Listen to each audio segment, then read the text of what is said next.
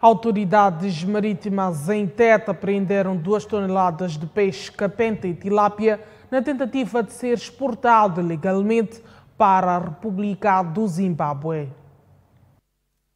Foram apreendidas duas toneladas e meias de pesca penta e diversos pescados, com destaque para peixe tilápia, vulgo pendi, proveniente de Albufeira de Corabaça, na província de Tete, cujo destino era a República do Zimbábue, uma exportação ilegal para o país vizinho e uma parte para o mercado negro de Coxena. As autoridades marítimas em Tete reafirmam que o pescado foi apreendido nos distritos de Mago e Corabaça, concretamente em DAC e no controle de Nhacapiriri. Conseguimos apreender um total de 2 toneladas 598 quilos, sendo que 767 é de peixe diversificado e um, uma tonelada 831 quilos só de capenta, de pescado que ia perder em termos econômicos. Esta quantidade está avaliado a mais de 2 milhões de meticais. Os infratores foram aplicados uma multa em mais de 2 milhões de meticais, os meios usados no ato de apreensão do pescado. Quanto aos infratores,